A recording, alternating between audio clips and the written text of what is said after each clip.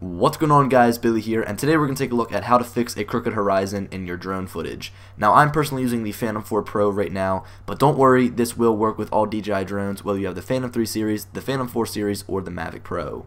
Whenever I look at a horizon that is not perfectly aligned, it's always the first thing that catches my eye, but it is fairly easy to fix, so let's get into it. Now to start things off, let's discuss what could make your horizon tilted in the first place. The number one reason would have to be taking off from a slanted surface. You want to always try to take off from a flat surface as this will calibrate your gimbal correctly upon startup.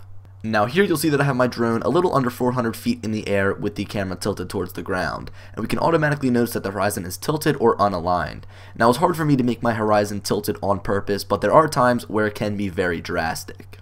To fix this, first we want to enable grid lines. We can find this under Camera Settings, Miscellaneous, Grid, and then Grid Lines. These horizontal lines on the screen will aid us in making sure the horizon is perfectly straight. Next we want to actually rotate the gimbal to make it perfectly straight. We can find this under Settings, Gimbal Settings, and then Adjust Gimbal Roll. Now all that's left to do is click the corresponding arrow in which way we want the gimbal to rotate. For me, I'm going to click on the right arrow to rotate it towards the left.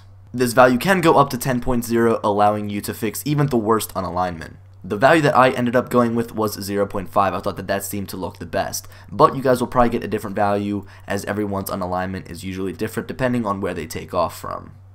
Now let's take a look at the raw footage. First of all, we have the one with the tilted horizon, and as I said, it's really not all that drastic, but it was hard to actually go out of my way and make sure that the gimbal was uncalibrated as I was taking off from a fairly flat surface. Here's the footage with the adjusted horizon using the gimbal roll feature. Although it wasn't all that bad to begin with, it does help to make slight tweaks to make sure that it looks perfect.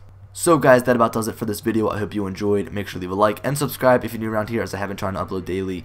Also leave a comment down below if you have any questions whatsoever about adjusting your gimbal roll. It is super easy and super straightforward, but I know that some of these things can be quite confusing. So guys, as I said, this video is coming to an end, and I'll talk to you guys later. Peace.